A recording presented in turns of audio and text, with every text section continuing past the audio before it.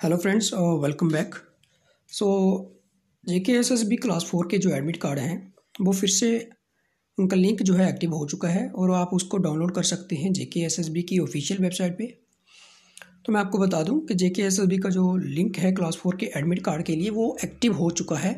जी सो आप उसको डाउनलोड कर सकते हो अपने एडमिट कार्ड को। जिन लोगों ने पहले से डाउनलोड कर लिए है, वो भी एक बार फिर से चेक कर लें, ताकि अगर कोई चेंज उसमें आई हो तो आप उसको देख सकें। तो आपको क्या करना है इसको डाउनलोड करने के लिए आपको करना क्या है मैं प्रोसीजर पूरा बता देता हूँ। आपको जाना है जे के ऑफिशियल वेबसाइट पे J K S S B dot N I C dot in पर और वहाँ पे जाके आपको क्या मिलेगा? सो so, जैसे आप J K S S B की ऑफिशियल वेबसाइट पे जाते हो आपको ये इंटरफेस देखने को मिलेगा और जैसे आप स्क्रॉल डाउन करते हो और आपको जहाँ देखने को मिलेगा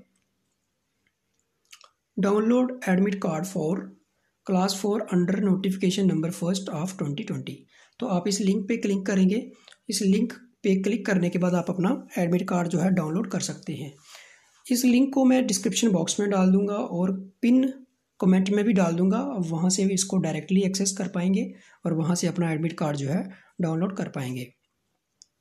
सो सारे लोग जो है अपना अपना एडमिट कार्ड डाउनलोड कर लें और अपना जो भी आपका एडमिट कार्ड पे सेंटर ऑफ़ एग्जामिनेशन है, उसको चेक कर लें और उसको अगर किसी भी प्रकार की आपको कोई प्रॉब्लम आती है, अगर किसी भी प्रकार का आपके एडमिट कार्ड में कोई इशू है तो आप J K S S B को ईमेल कर सकते हैं।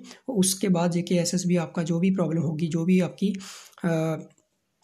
जो भी आप, उसमें कुछ चेंजेस जो भी मतलब प्रॉब्लम होगी आपके एडमिट कार्ड में, अगर कोई इशू आएगा, ठीक है, अगर कहीं आपका फ़ोटो मैच नहीं कर रहा है या फ़ोटो नहीं आया है, जब सिग्नेचर नहीं आया है तो आप उस चीज़ को मेल कर सकते हो जे को और जे आपके जो भी प्रॉब्लम है, उसको एड्रेस करने की कोशिश करेगी। सो यही अपडेट है अभी के लिए। So thank thanks